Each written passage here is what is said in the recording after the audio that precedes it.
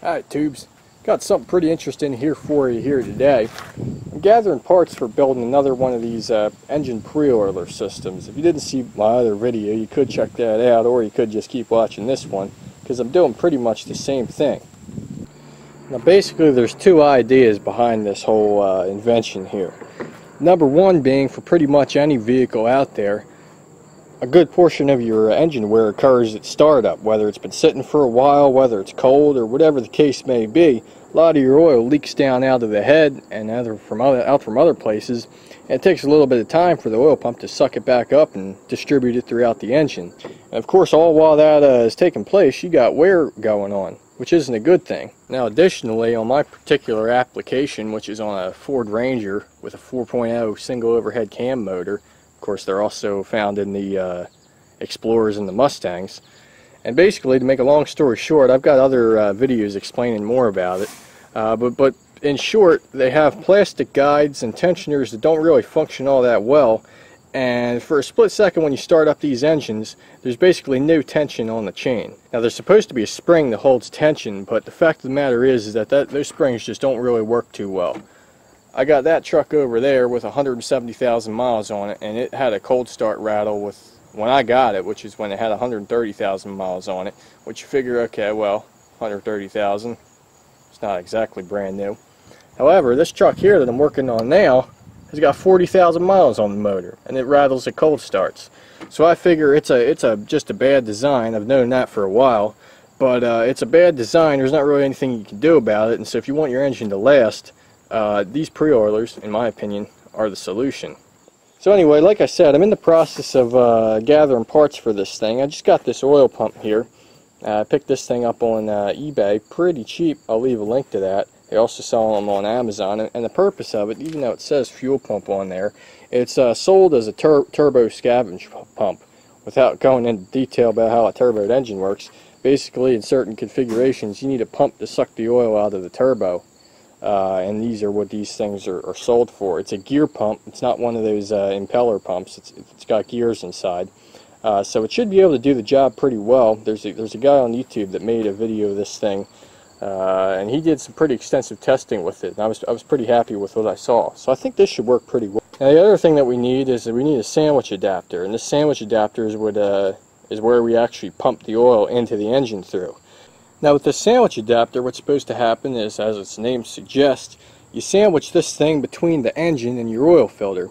Now this particular one is set up for an oil cooler, and unfortunately that's going to make it not really function in the way that I want it to. If you take a look at the bottom here, you got two arrows, one out and one in, and so the way this is supposed to work, is it's just supposed to interrupt the oil supply to the oil filter and uh, direct it through an oil cooler and then bring it back in.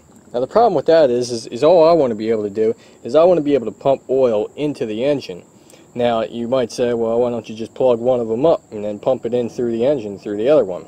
Well, the problem with that is, is if I plug this thing up when the engine is normally running, pre-oiler not engaged, what's going to be happening is you're going to have the engine trying to pump oil into the oil filter, and then uh, it's not really going to be able to go anywhere, and then you're going to blow up your engine. You're going to blow up something. Your oil pump, I don't know what will happen. It won't be pretty though. So what I need to happen in either case is I need this thing to just flow straight through.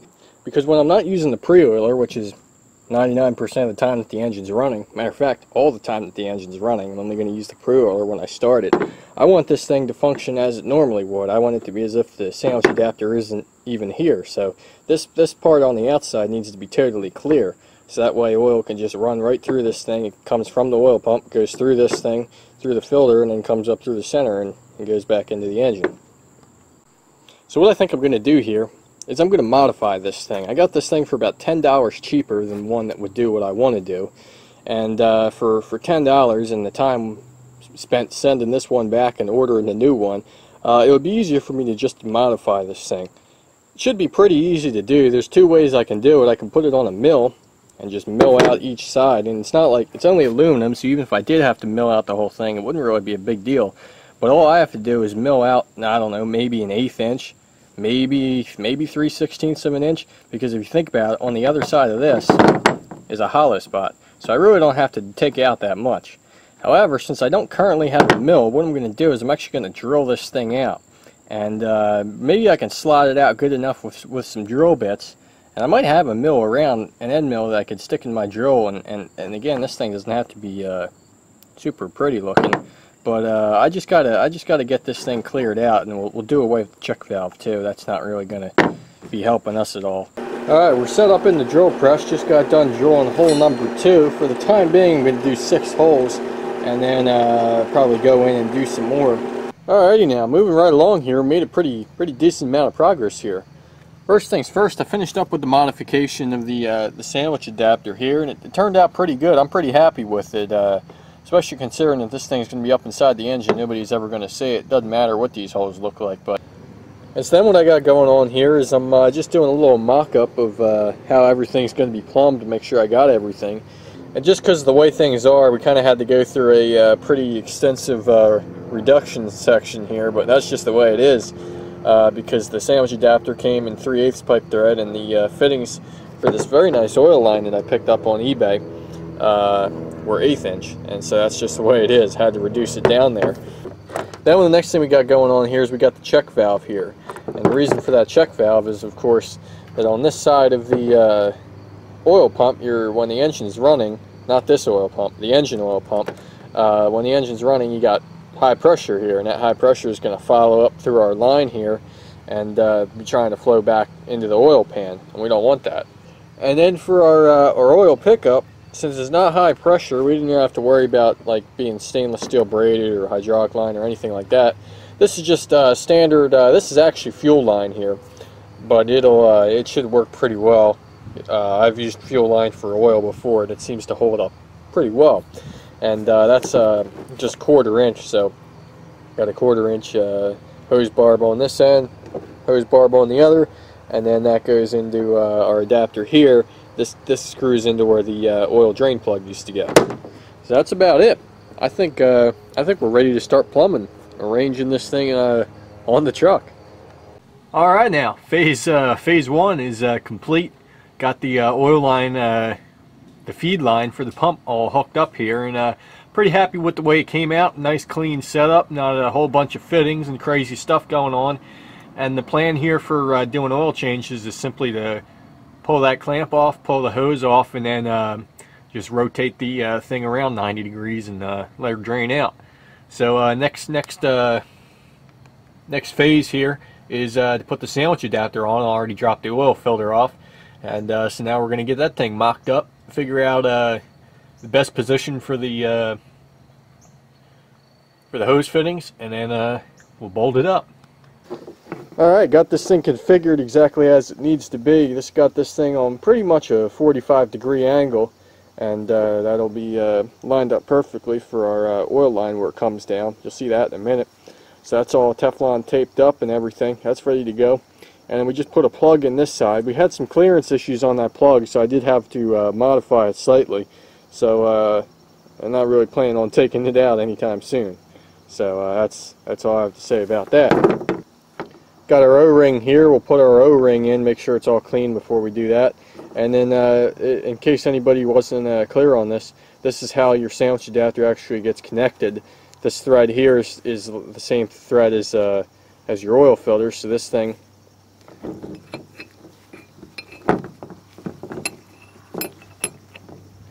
goes in here like so and screws up tight uh, on your oil screws up tight where the uh, fitting for the oil filter is on the engine and then uh, you got more threads on here for your oil filter to screw to. And that's all there is to it. Alright, there's our sandwich adapter all uh, snugged up in there. So our oil filter is ready to go on and, and, at that point we should be done down here. I just thought I'd mention uh, this thing's been sitting overnight with oil in it and uh, we're perfectly dry on this thing. No leaks whatsoever which is obviously exactly what I wanted. So uh, all good here. All right, here's our uh, here's our connection right at the oil filter, and of course uh, you've already seen the sandwich adapter, and then we've got our stainless steel braided oil line coming down with the flare fitting on it, and uh, just screwed it right on there. Real nice and clean setup, no uh, messing around with hose barbs, flare uh, compression fittings, or any of that stuff. nice and nice and clean setup, so I'm very happy with that. and then our feed line runs up right next to it, and both of them are uh, on this side of the transmission dipstick, so there's pretty much no chance of them ever working their way over to the uh, exhaust there, because that wouldn't be good. Now up top here, I pretty much got everything plumbed up as well. Uh, I chose pretty much the same spot for the pump as I did on my other truck. Uh, the good thing about this pump, however, was I didn't have to delete the cruise control. It was quite a bit smaller, and so uh, I was able to spare cruise control. Not that I uh, really miss it, but it is uh, nice to have it and uh, keep everything as close to stock as possible, at, le at least in that regard. So uh, our connections to the pump have been made.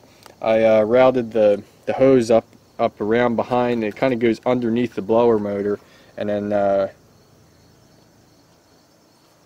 I did it so good you can't even see it, but it runs down there. And so you don't even see the feed line at all. It just comes up right to the pump there. Similarly over here on the high pressure side, our, uh, our line here has a convenient elbow in it, so it just comes right here, hooks right up to the, uh, to the pump, and the uh, check valve goes right around. And the same thing, I routed it down underneath, and uh, it pretty much disappears, and, and, you don't even see it. Uh, and eventually, uh, if you look hard enough, you can see down there where it eventually ends up.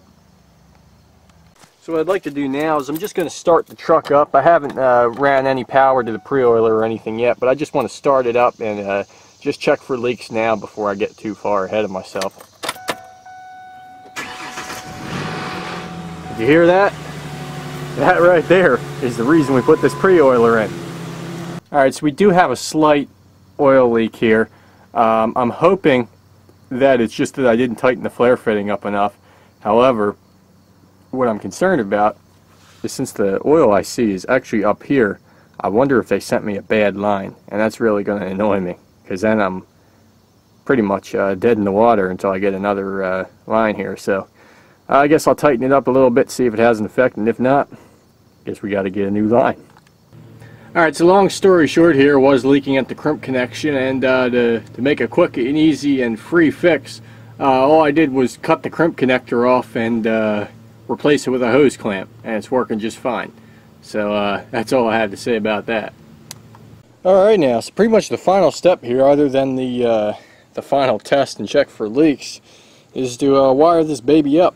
And so what I decided to do is just temporarily, I got these KC lights on the truck here and uh, I decided what I would do is I would just use the switch and relay for that. Obviously it's just temporarily because I do have plans of using these in the future uh, but it's just simpler now because I don't have a ton of time to work on this, but I want to get this thing done as soon as I can so I can start using it. So I figured right now there's already relay, we already got a switch inside, we'll just use that for now. So all I did was uh, the relay conveniently actually has two uh, positive 12 volt outputs. One of them goes to uh, each light. Uh, so what I did is I just cut one of them and hooked it up to a wire here and I got this wire and it's just going to run through the through the radiator support and uh, come out and eventually it'll be tucked in all nicely and uh, go right up to the pump. Got her all wired up here, got our, uh, ground just comes up to this bolt right here. That might change in the future just make it look a little cleaner and hide the wires.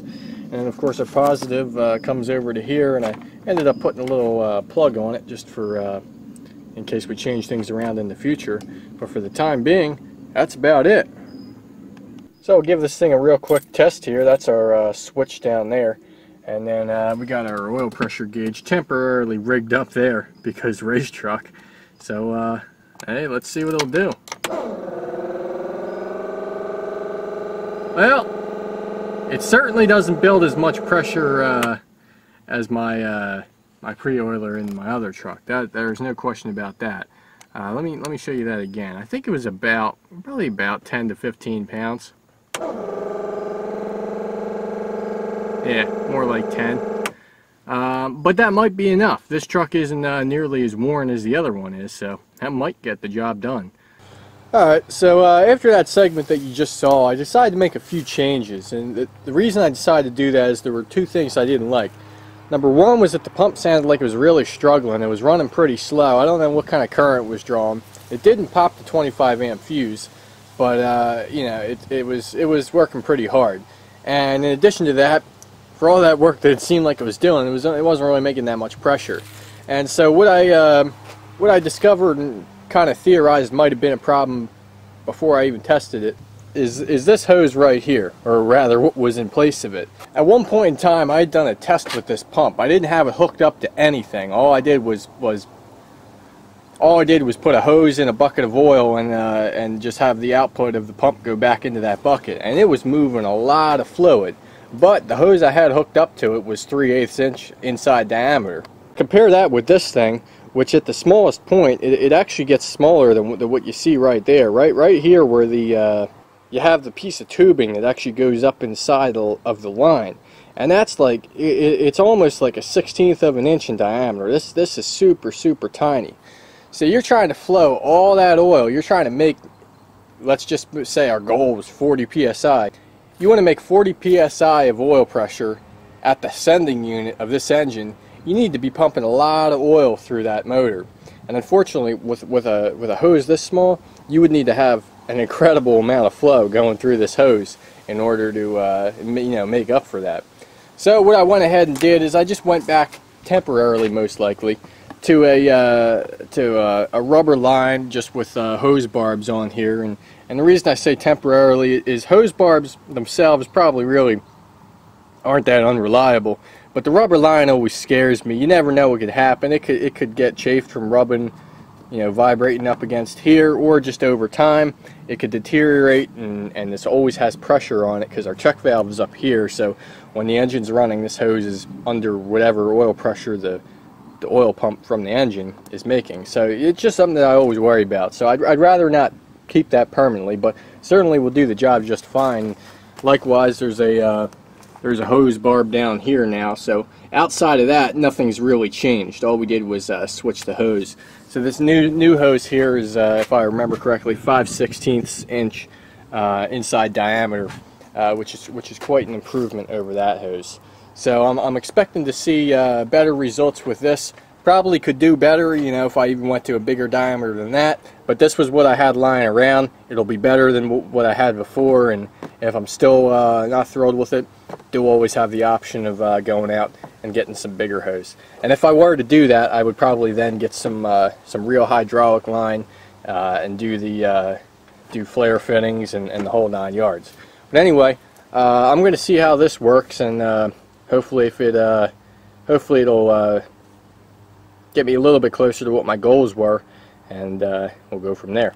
Alright, let's see what this thing will do now. This should be a pretty accurate test too because the truck's been sitting for I'd say three to, three, three to four days and uh, so the battery's kind of got a chance to uh, wear down a little bit. Uh, pretty much all the oil's gotten a chance to run down out of everywhere so this should be about as accurate as a test you're going to get. I guess what we're interested in here is not only the pressure that it builds, but also how long it takes to build it. Uh, on my other truck, with that hydraulic pump, it'll build 40 to 60 pounds in two, three seconds. I don't have that high of an expectation for this pump, but, you know, hopefully I don't have to sit there running this thing for, you know, 20, 30 seconds. See what it'll do.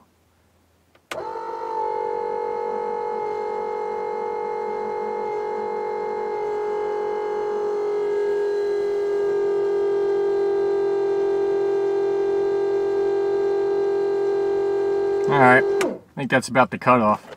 So that's certainly better than before. It was only making like 10 pounds, now it's making like 15. Not that much better, but a little bit better, and it sounds like the pump isn't struggling quite quite as much, uh, trying to force all that flow through through such a small hose. So we're going to stick with that. Uh, I would like to replace the uh, the hose barbs with something uh, like a compression fitting, or better yet, a flare fitting. But for the time being, I'm sure it'll do just fine. I'm going to call this the end of the video here. Uh, I'm going to wrap it up. Uh, for the time being, we're going to call this a, uh, a complete completed project and largely successful.